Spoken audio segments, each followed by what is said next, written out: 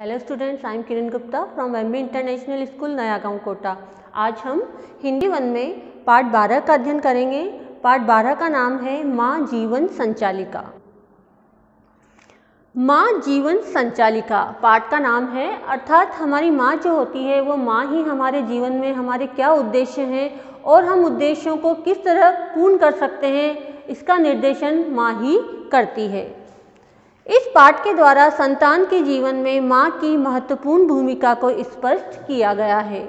माँ ही अपनी संतान को जीवन के उच्च आदर्शों से परिचित कराती है। न करने योग्य कार्यों के परिणामों को बताकर उसे सचेत करती है, उसकी भावनाओं और महत्वाकांक्षाओं को भली भांति समझती है। माँ के साथ मन की बात करके संतान को भी आत्मिक सुख मिलता है।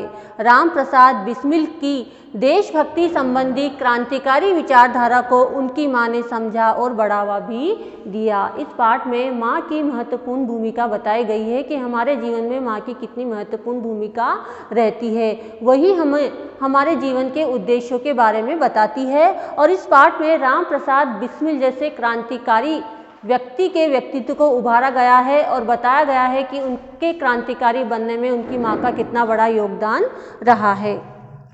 अब्राहम लिंकन ने अपना विचार अभिव्यक्त करते हुए कहा है, मैं जो भी हूँ, यह होने की आशा करता हूँ, उसका श्रेय मेरी माँ को जाता है।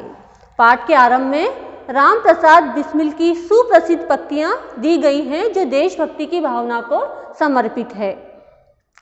सरफरोशी की तमन्ना अब हमारे दिल में है, देखना है ज़ोर कितना बाजुए कातिल में है। वक्त आने दे, बता देंगे तुझे ए आसमां। हम अभी से क्या बताएँ, क्या हमारे दिल में है? यह पंक्तियाँ उनकी देशभक्ति की भावना को समर्पित है।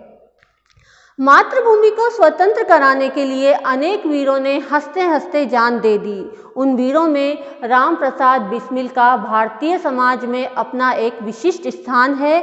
ऐसे महान नायक को शत शत नमन है उन्हीं के शब्दों में। यहाँ पर राम प्रसाद बिस्मिल को अनेकों बार नमन किया गया है क्योंकि उनका भारत को स्वतंत्र कराने में महत्वपूर्ण योगदान रहा है। यदि देश के हित मरना पड़े, मुझको सहस्त्रों बार भी सहस्त्रों का अर्थ है हज़ारों बार भी तो भी न मैं इस कष्ट को निज ध्यान में लाऊं कभी। अर्थात यदि मुझे देश की रक्षा के लिए एक बार नहीं, हज़ारों बार भी मरना पड़े तो मैं कभी भी इस कष्ट को ध्यान में नहीं लाऊँगा। अर्थात मैं अनेकों बार मरना चाहूँगा। राम प्रसाद बिस्मिल का जन्म 11 जून अठारह सौ सत्तानवे को शाहजहांपुर, उत्तर प्रदेश में हुआ था। उनके पिता का नाम पंडित मुरलीधर था और माता का नाम श्रीमती मूलमती था। माता पिता दोनों ही भगवान श्री राम के परम भक्त थे, अतः बालक का नाम बड़े प्रेम से राम प्रसाद रखा गया। अर्थात राम प्रसाद का नाम राम प्रसाद क्यों रखा गया? क्योंकि उनके माता और पिता दोनों ही श्री राम के अनन्य भक्त थे, इसलिए। बाल्यकाल से ही उनकी शिक्षा दीक्षा का विशेष ध्यान रखा जाने लगा।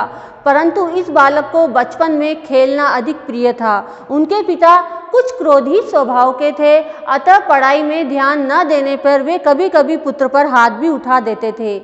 लेकिन माता सदैव प्रेम से ही समझाती थी। रामप्रसाद जो थे, इनकी रुचि बचपन में खेलने की ओर विशेष थी और पिता का स्वभाव क्रोधी होने के कारण वह कभी कभी बालक पर हाथ भी उठा देते थे, लेकिन माता बहुत ही प्रेमी स्वभाव की थी।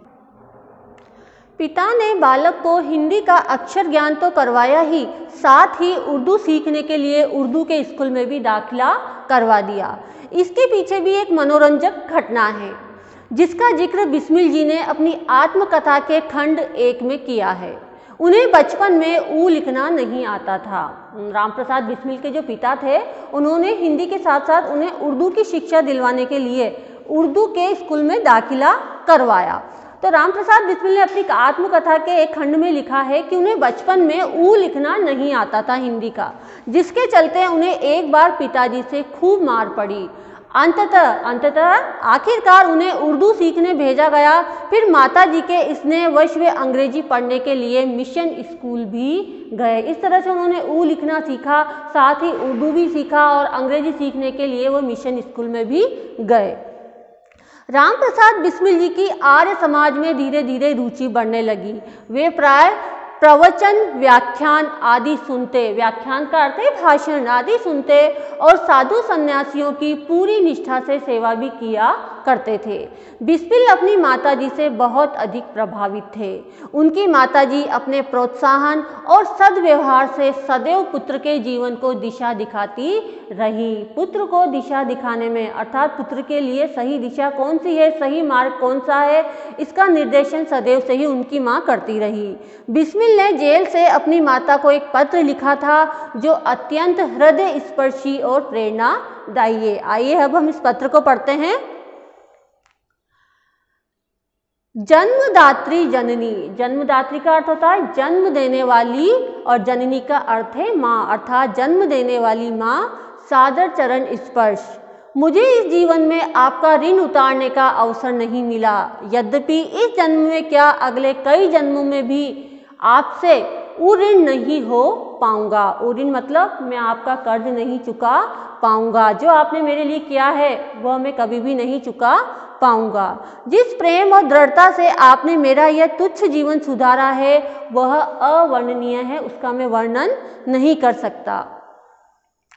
मेरी शिक्षा, मेरी आत्मिक उन्नति, धर्म के प्रति मेरी रुचि सब पर आपकी ही कृपा है। महान से महान संकट में भी, अर्थात बड़े से बड़े संकट में भी आपने कभी मुझे अधीर होकर कुपथ पर चलने नहीं दिया। अधीर अर्थात मुझे मेरा धैर्य नहीं खोने दिया और मुझे गलत मार्ग पर नहीं चलने दिया। मैं चाहूँगा कि जन्म जन्मांतर आप ही मेरी माँ बने। माँ, मेरे मन में एक ही तृष्णा शेष रह गई है। कि मैं आपके चरणों की सेवा न कर सका। आप यह सोचकर धैर्य धारण करना कि आपका पुत्र माताओं की भी माता भारत माता की सेवा में अपने जीवन की बलि की भेंट दे गया। राम प्रसाद बिस्मिलिया कहना चाह रहे हैं कि, हे माँ, अपने इस जीवन में तुम्हारी सेवा नहीं कर सका, परंतु तुम यह जानकर संतुष्ट हो जाना कि मैं माताओं की भी माँ अर्थात इस भारत माँ की सेवा कर रहा हूँ और अपने प्राण समर्पित करने जा रहा हूँ। आप यह आशीर्वाद दो कि अंतिम समय में भी मेरा हृदय विचलित न हो और आप भी उसी प्रकार धैर्य रखना जैसे गुरु गोविंद सिंह की धर्म पत्नी ने रखा था, जिन्होंने अपने पुत्रों की मृत्यु को हर्षित होते हुए सहन किया था। आपके चरण कमलों में प्रणाम, आपका पुत्र राम। अर्थात राम प्रसाद बिस्लिया कहना चाह रहे हैं कि जब मुझे फांसी की सजा दी जाए तो हे माँ, तुम भी गुरु गोविंद सिंह की पत्नी की तरह विचलित मत होना। रामप्रसाद बिस्मिल नवी कक्षा में ही पढ़ते थे। जब उनके हृदय में स्वदेश प्रेम की लो जगी, अपने देश की प्रेम लो जगी जब वो नवी कक्षा में पढ़ते थे। उन्हें लगने लगा कि देश के लिए कोई विशेष कार्य किया जाना चाहिए। सन 1916 तक बिस्मिल की देशभक्ति उनके लिए एक जुनून बन चुकी थी। साथ ही साथ वे साहित्य सृजन भी कर रहे थे। यहाँ तक वो देशभक्ति की भावना तो उनके अंदर उत्पन्न हो ही चुकी थी। वो साहित्य सृजन अर्थात लिखने का काम भी कर रहे थे। उनके द्वारा रचित अमेरिका की स्वतंत्रता का इतिहास नामक पुस्तक छपते ही जब्त कर ली गई। अंग्रेज़ सरकार ने यह पुस्तक अपने कब्जे में ले ली थी। धीरे धीरे समय के साथ वे अनेक महाअनुभवों के संपर्क में आए और कई ऐसी घटनाओं को अंजाम दिया, जिससे वे विदेशी सरकार की आँखों की किरकिरी बन गए। अर्थात अंग्रेज़ी सरकार की आँखों में वह खटकने लगे थे। उनकी देशभक्ति की भावना से उनके जो वो कार्य कर रहे थे देश के लिए, उससे और वो साहित्य सृजन कर रहे थे उससे। काकोरी कांड के बाद से तो गिरफ्तारी से हर समय उनका लुका छिपी वाला खेल चलने लगा था। काकोरी कांड की जो घटना हुई थी, उसके बाद से तो अंग्रेज़ी सरकार उन्हें गिरफ़्तार करने में लगी हुई थी और वो अंग्रेज़ों से बचने के लिए यहाँ वहाँ छिप रहे थे। अंततः 26 सितंबर 1925 की रात को वे गिरफ़्तार कर लिए गए। अभियोग और मुकदमा चलाने का नाटक खूब चला। अंग्रेज़ों की अंग्रेज़ों ने रामप्रसाद बिस्मिल पर मुकदमा चलाया। यह एक तरह से नाटक ही था, क्योंकि अंग्रेज़ी सरकार जो मुकदमा चलाती थी, उसमें फैसला अंग्रेज़ों के पक्ष में ही किया जाता था। इस जिसमें बिस्मिल ने स्वयं अपने केस की ऐसी पैरवी की कि जज महाशय भी मुँह देखते रह गए। परंतु हुआ वही जो पहले से तय हो चुका था, उनको एक खतरनाक अपराधी ठहराया गया और अंततः 19 दिसंबर 1927 को गोरखपुर जेल में फांसी देने की सजा सुना दी गई। यद्यपि रामप्रसाद बिस्मिल ने स्वयं बहुत अच्छी पैरवी की, खुद को बचाने की, परंतु अंग्रेज़ सरकार ने उन्हें दोषी ठहराया और 19 दिसंबर 1927 को गोरखपुर की जेल में उन्हें फांसी देने की सजा सुना दी गई थी। देश की स्वतंत्रता के लिए शहीद होने वाला यह बांका जवान, यदि वीर था तो उसकी माँ भी वीर प्रसूता थी। वह तो वीर थे ही, उनकी माँ भी एक वीर पुत्र को जन्म देने वाली थी। राम प्रसाद के पिता ने जानबूझकर उनकी माता से फांसी की खबर छिपाई, क्योंकि उन्हें लगा कि संभवतः वे इसे सहन नहीं कर पाएँगी। वे अकेले ही पुत्र से अंतिम मुलाकात करने चले गए। माँ भी आखिर माँ थी। वे पिता से पहले ही बेटे के सामने उपस्थित थी। कहते हैं कि माँ को सामने पाकर पुत्र की आँखें गीली भी न हो पाई थी कि वे पहले ही सिंह सी हुखार उठी। एक शेरनी के समान उनकी माँ उनसे बोली, अगर रोना ही था तो इस ओर ध्यान क्यों लगाया? अर्थात राम प्रसाद बिस्मिल की माँ ने उन्हें रोने नहीं दिया। और एक शेरनी की भांति गरज कर वो बोली, अगर तुम्हें रोना ही था तो तुमने यह कार्य क्यों किया? इस ओर ध्यान क्यों लगाया देशभक्ति की ओर? फांसी के बाद उनकी माँ ने कहा, मैं प्रसन्न हूँ कि मेरे पुत्र ने शूरवीरों की भांति अपने प्राण न्योछावर किए। दिल फिदा करते हैं, कुर्बान जिगर करते हैं। पास जो कुछ है, वो माता की नज़र करते हैं। वंदे मातरम।